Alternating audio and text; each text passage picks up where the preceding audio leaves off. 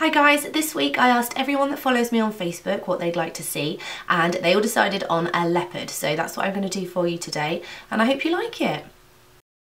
Okay, so the first colour we're going to take is a bright yellow and we're going to apply this all over the top half of the face. You do want to make sure that you leave the eyelids free and also the top lip area and the lower jaw as well.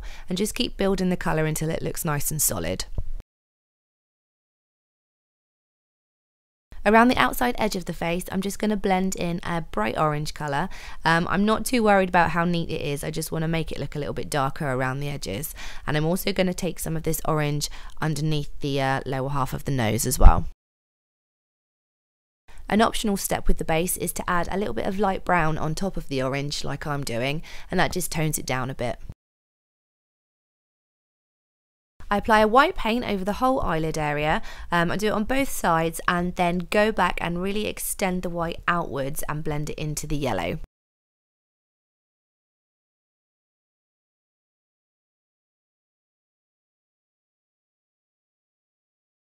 And then still with the white, I apply some um, in the area above the top lip and just below the nose, and that will create the leopard muzzle.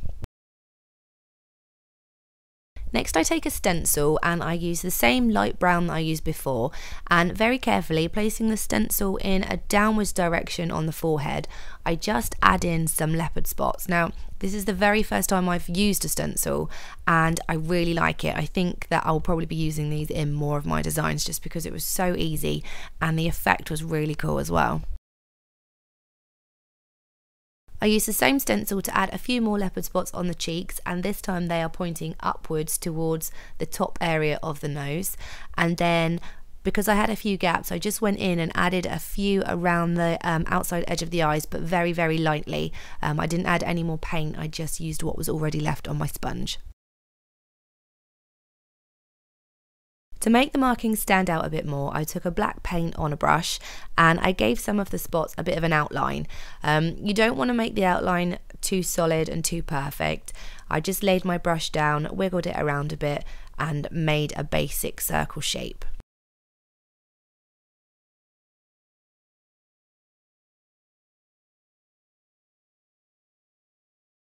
You don't need to worry about outlining every single shape that was left by the stencil, um, just pick a few of the main ones. But what you do need to make sure of is that your outlines are of different sizes, so make sure you've got some big spots, some little spots, and even put in a few dots around them as well.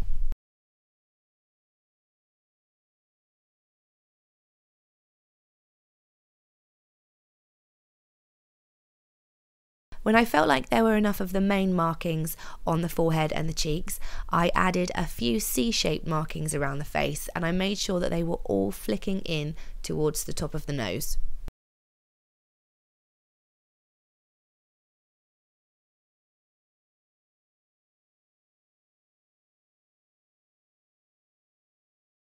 Next you want to paint a thin line which starts right on the inside corner of the eye and flicks out through the eyebrow.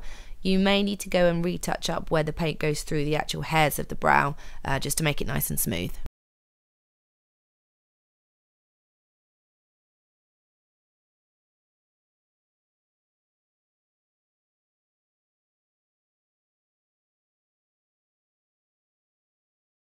Paint a little leopard nose right on the underside of yours and make sure that the edges are rounded out and then once the nose is finished you want to extend a line down and split the top lip.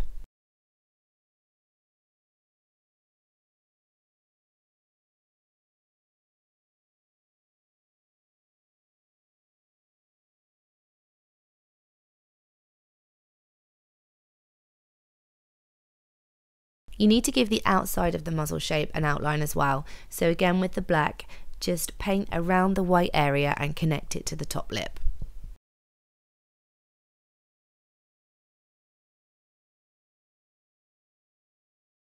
I paint a few little dots on the outside corners of the muzzle and I just make sure that they're all different sizes. Um, I'm not going to add whiskers to this design but you can if you want. Um, if you do I'd probably recommend using white. The last step, which is completely optional, is to paint over the eyelid with a black flick. Now, if I was doing this on a child at an event, I wouldn't paint so close to the eyelashes because it's going to be a real pain for the parents to get off. Um, but because I'm doing it on myself, I can go right down um, and fill in all the space in between the eyelashes.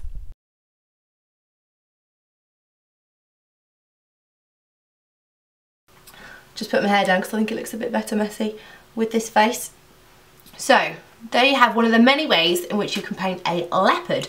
I hope you like this design and thanks so much for watching guys. Uh, don't forget to subscribe if you want to see um, more videos. I think the next thing that we've got coming up is a pirate, um, so stay tuned for that.